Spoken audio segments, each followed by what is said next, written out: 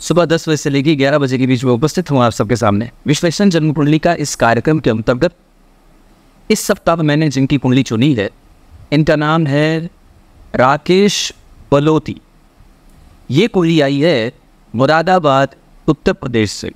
शुरू करते हैं इसका कार्यक्रम। अगर आप भी अपनी कुंडली का ऐसे ही विश्लेषण चाहते हैं तो कार्यक्रम देखने के तुरंत बाद डेट ऑफ़ बर्थ टाइम और प्लेस अवश्य लिखें और रविवार की सुबह का कार्यक्रम अवश्य देखें आइए, मैं इनकी कुंडली पे लेके आता हूँ। इन्होंने बस एकमात्र प्रश्न पूछा है और वो ये कि मेरी संतति मेरी सेवा कितनी करेगी और मैं अपने माता पिता की सेवा कितनी करूँगा? इसी प्रश्न के इर्द गिर्द हमारा विश्लेषण होगा। शुरू करते हैं आज का कार्यक्रम। आपको मैं सबसे पहले आपको इनकी कुंडली के पंचांग से परिचय करा देता हूँ। इनका जन्म श्रावण माह में हुआ है। इस वजह से व्यक्ति खुद बड़ा दिल का साफ़ है। दक्षिणायन में जन्मे हैं, इस वजह से आत्मविश्वास कमज़ोर हो सकता है।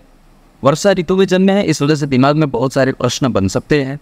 सोमवार को शुक्ल पक्ष के सप्तमी तिथि में जन्म होने से व्यक्ति को संतान से संबंधित समस्या नहीं होती है। हालाँकि संपत्ति भाग्यशाली होती है और व्यक्ति स्वयं भी खुद को भाग्यशाली समझता भी और वो पोता भी। इनकी कुंडली में इनका जन्म जो हुआ, वो चित्रा नक्षत्र में हुआ है। इस वजह से व्यक्ति को पेट से संबंधित समस्याएँ हो सकती हैं और कई बार यहाँ बहुत गर्मी है। मतलब मैं जहाँ हूँ बिहार में, पता नहीं, हर जगह ही गर्मी है। इसलिए यहाँ पे बहुत कम रहती है। आप तो मैंने पहले भी बताया है।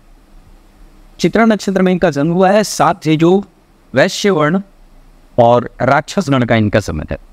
इस वजह से व्यक्ति अपने लाभ की बात सोचता है। और दुनिया में कहीं भी कहीं भी जा कर के वो अपना लाभ साध देता है और उससे उसको फ़ायदा होता भी है, उससे नुकसान नहीं होता।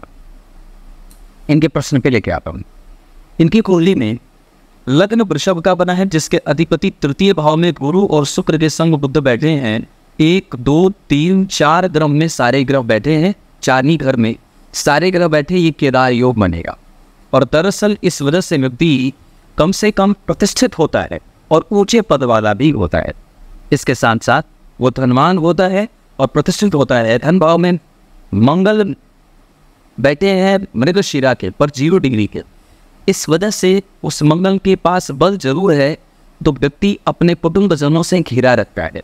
पंचम भाव में शुभ ग्रह की राशि में शुभ ग्रह का बैठना और मंगल की दृष्टि जा रही है, जो कई बार इस कुंडली के लिए बारहवें और सप्तवें भाव के अधिपति होकर के मारक होकर के एक सामान्य से स्तर से उठा करके व्यक्ति को सुख देने की कोशिश करते हैं। संतति और माता पिता के पीछे व्यक्ति का व्यय होता है और यही नहीं, वो अपने व्यापार से भी बहुत अच्छा खासा धन कमा सकता है। एक ही कुंडली में चतुर्थ भाव पर शनि और राहु का प्रभाव है। जिनकी मित्र दृष्टि जन्म कुंडली के लग्न पे पड़ेगी, जिस वजह से व्यक्ति ख्याति और लब्ध प्रतिष्ठित होता है। इसके साथ साथ लग्न पे शनि का प्रभाव और चतुर्थ स्थान पे राहु का प्रभाव। चतुर्थ भाव के अधिपति सूर्य मंगल से सन्निकट होकर होकर के बैठे हैं। इस वजह से इस कुंडली में व्यय पे नियंत्रण रखना चाहिए और कई बार बातों ने नहीं बनना चाहिए। चंद्रमा बैठे हैं, ये सबका प्रेम दिलवाते हैं। यहाँ पे सूर्य और बुद्ध इस भाव को बलवान कर रहे हैं। और एक बात और है, यहाँ मंगल का तुला राशि में बैठना है, यहाँ पे शनि चंद्रमा का बैठना कई बार थोड़े बहुत मतभेद बनते हैं भाग्य से। इस वजह से बजरंग बली की पूजा इस कुंडली को सदैव बल देती रहेगी नौमांसा कुंडली के लग्न के अधिपति का तृतीय भाव में बैठना सप्तमेश के संग। इस वजह से व्यक्ति पत्नी को आगे बढ़ा सकता है, पर पति ही रोज़गार परक होती है तो कोई आश्चर्य वाली बात नहीं। है यहाँ पे गुरु राहु और केतु के संपर्क में है, इस वजह से कभी कभी व्यक्ति में धार्मिकता बहुत ज़्यादा बढ़ जाती है, और वक्त के हिसाब से कभी कभी कम होती है। कई बार दुख पड़े तो भगवान को याद पड़े या कोई बार सुख पड़े तो भगवान को याद पड़े। जब उसके जीवन में भयंकर उत्थान पतन होते हैं, तब वो भगवान को छोड़ देता। सूर्य और बुद्ध का पंचम भाव को बलवान बनाना, यहाँ की स्थिति बहुत अच्छी।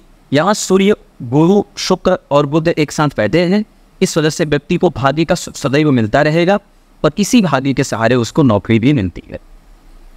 दशम स्थान के अधिपति शनि की दृष्टि दशम स्थान पर इस वजह से सरकारी नौकरी मिल जाती है। चंद्रमा पंचम भाव में यशोवान बनाते हैं।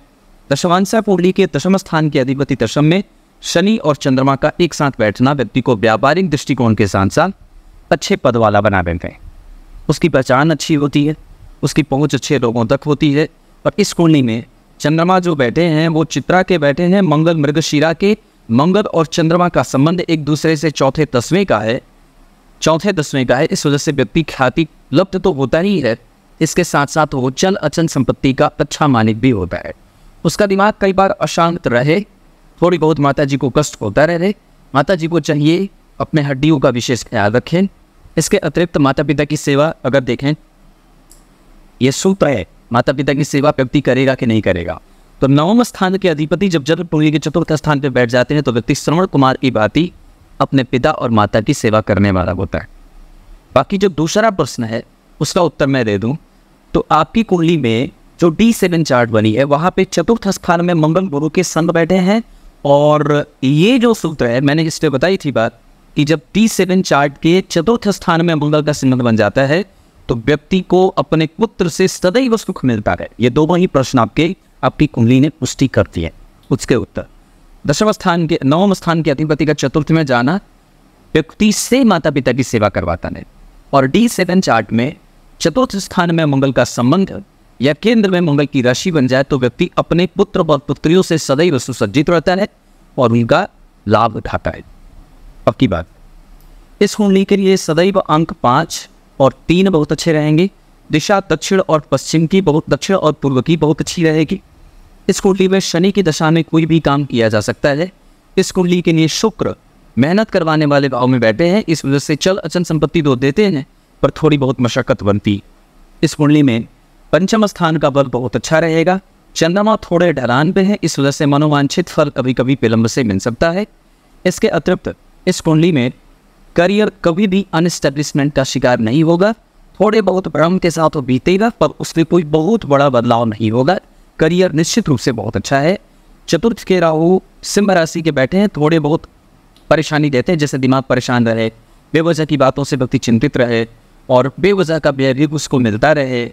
और उसका धन कई बार विदेशों से या सरकारी चीज़ों से या बाहरी से, बाहरी संबंधों से आता जाता रहता है। इस कुंडली की आयु अच्छी है, इस कुंडली का पराक्रम अच्छा है, इस कुंडली का कम्युनिकेशन अच्छा है, इस कुंडली की विलक्षणता अच्छी है और निस्संदेह ये व्यक्ति गंभीर इतनी सारी गर्मी बहुत है, इस वजह से अब ज़्यादा बोल नहीं सकता। तब तक के लिए।